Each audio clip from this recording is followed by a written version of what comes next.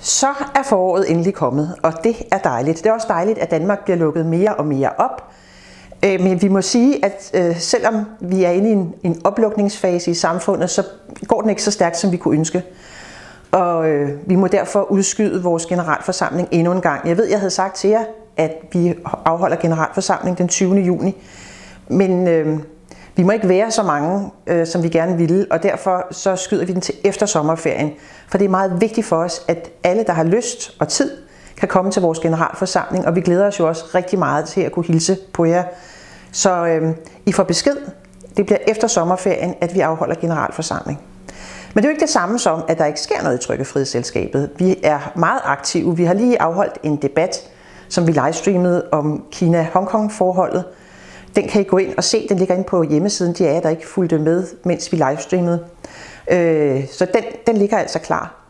Og så har vi vores næste debat, som, eller det bliver ikke en debat, det bliver et foredrag med Monika Papazzo, som bliver livestreamet den 10. juni, torsdag den 10. juni. Og selvom I ikke kan nå at følge med torsdag den 10. juni, så vil den, den, øh, det foredrag også blive lagt på vores hjemmeside www.trykkefrihed.dk.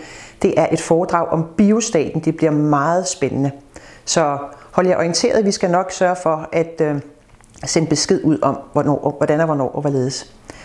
Men vi har jo også været øh, aktive med andre ting, og vi er jo i gang med en podcast-serie.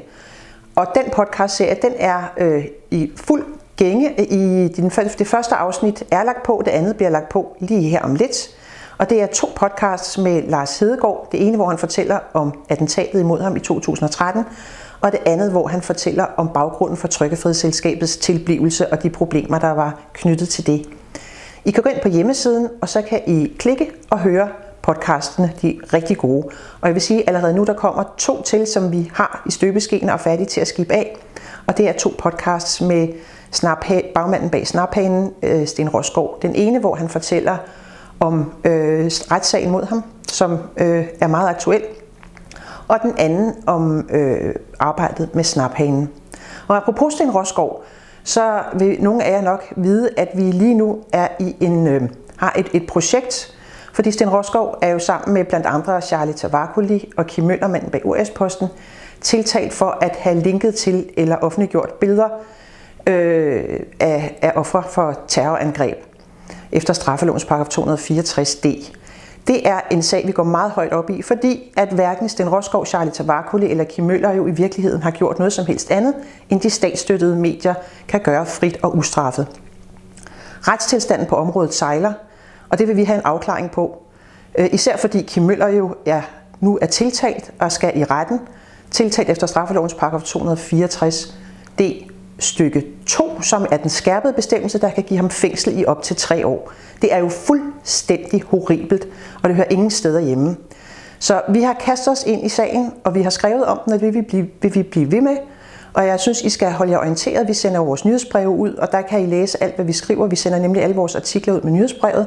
Og I kan også se på vores hjemmeside og på vores Facebook-side, som lige pludselig er kommet op og kører igen, selvom en af vores administratorer stadigvæk ikke kan komme til at lægge på så kører vores Facebook-side faktisk igen, og der, øh, der vil vi altså også sende fra. Så I kan trykke gå ind på øh, Trykkefrihedsselskabets Facebook-side igen. Den lever lidt endnu. Endelig har vi også en video klar inden for den næste uge til halvandet, hvor vi tager jer på en tur rundt i København og besøger forskellige mindesmærker og statuer af berømte personligheder, som cancel culture kunne forestille sig at ville skænde. Det har jo været et kæmpe problem, at øh, cancel culture har øh, skændet forskellige øh, statuer og mindesmærker, fordi de vil udslette dele af historien. Det er vi selv sagt stærkt modstandere af. Så vi har taget jer rundt på en tur i København, og jeg håber, I vil se videoen. Den kommer ja, inden for de næste 10 dage, regner vi med. Og den vil vi selvfølgelig også sende ud med nyhedsbrevet. Vi vil lægge den på vores hjemmeside, og vi vil lægge den på vores YouTube-kanal. Så vi har nok at lave, og jeg vil fortsat informere jer om det efterhånden, som tingene sker. Og så vil jeg ellers øh, ønske jer alle sammen en rigtig god dag.